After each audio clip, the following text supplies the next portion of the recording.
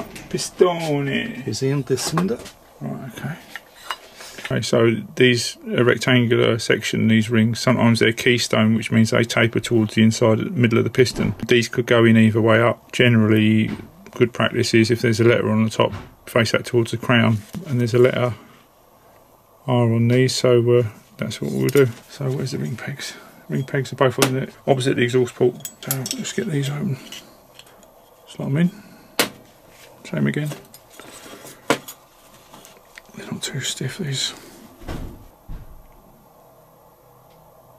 And then spin the ring around so it lubricates it. That way the rings are less likely to get trapped. So we'll put one piston circlip in advance of the don't generally like circlips with tails, but they'll do. And the good practice is normally to uh, leave the gap at the top or the bottom because it's less likely to squash. Now that's not in properly yet. That's it, that's sat now. Give it a twist and make sure it's happy. Right, that's in. Okay. Nicely made gudgeon pin, which is tapered inside, so it's a bit lightweight.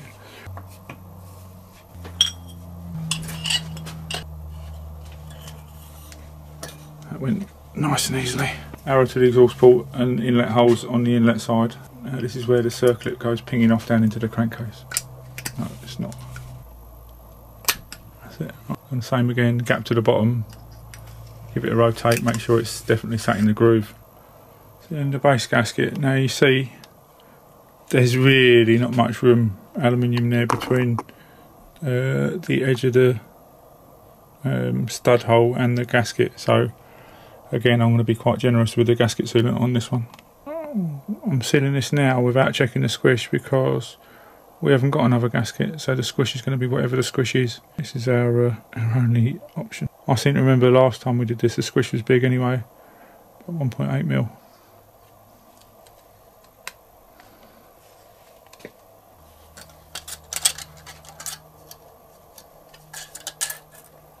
Okay, I've got a bit to wipe off the piston there. Sealant on that side. A bit of sealant on there. Two stroke oil in the bore. That's got a bit of lubrication on startup.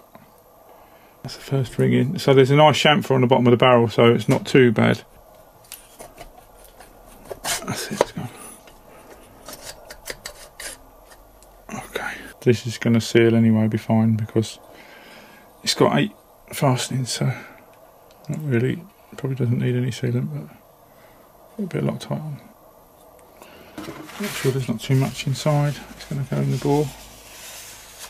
Now, some of these holes are offset, aren't they? To uh, the cylinder head. Put the dowels in yet. That's not right, is it? Because you can see the holes are out, out of line.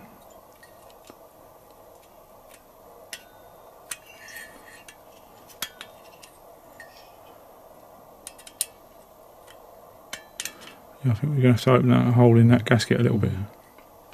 Four plain nuts, four washers and not nuts, so it must be plain nuts and washers. So, top tip for this. Yeah. So if you get a piece of paper and you stick the nut down the side of it, then you can just use it to screw onto the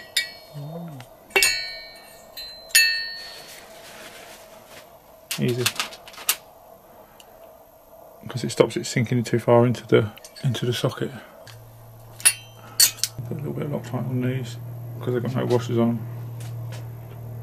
Don't think they're going to come loose anyway, but yeah.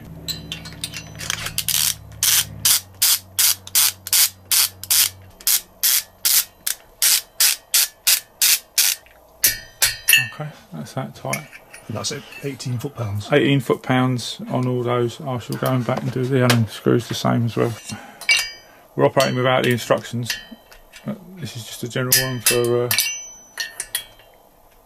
bikes with aluminium cylinders and 8 mil studs. Okay. So I think that's on. A bit of luck. Just need some way to turn the uh, turn the crank.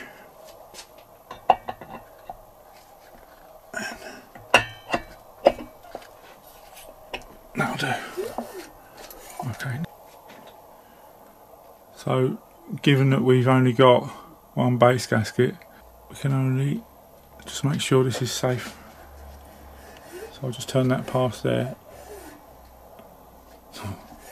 Didn't feel like a lot there.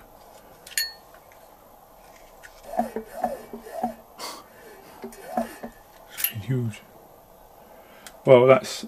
I would say that, base gasket might be a bit too thick, but I don't have. It's Yeah. certainly safe. We'll give it that. Um, tell you what we'll do. We'll, do, we'll squash it doubly.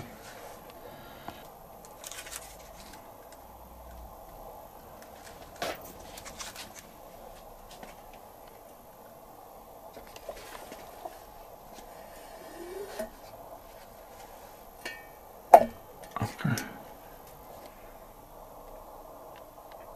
2.38 mil and 2.2.